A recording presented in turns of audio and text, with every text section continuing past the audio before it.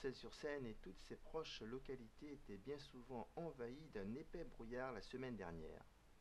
Voici donc deux clichés qui vous permettent de voir la différence entre le matin à 9h et l'après-midi aux alentours de 16h30. Ça y est, la famille Pintard à la résidence Les Cigales ont éclairé leur jardin. En effet, après des heures de préparation minutieuse, des milliers de LED disposés soigneusement apportent une touche joyeuse dans la commune. La passion de Joël pour la décoration lumineuse dure depuis dix ans et avec son épouse, ils sont d'autant plus heureux de recevoir des passants qui surtout leur disent merci et les félicitent pour ce magnifique travail. C'est non seulement du travail, mais surtout une facture d'électricité qui bondit de 15 à 20% durant le mois de décembre. De ce fait, ils hésitent pour l'an prochain.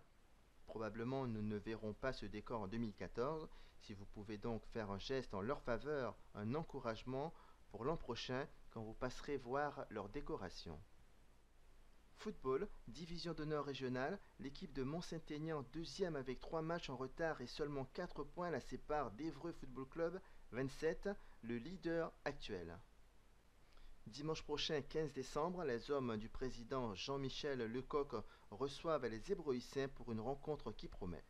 Les Mont-Saint-Aignanais euh, semblent bien partis pour frapper un gros coup cette saison à l'instar de Bois-Guillaume, club de la banlieue de Rouen aussi, qui est monté en DH senior l'an dernier, mais qui éprouve quelques difficultés en cette phase allée.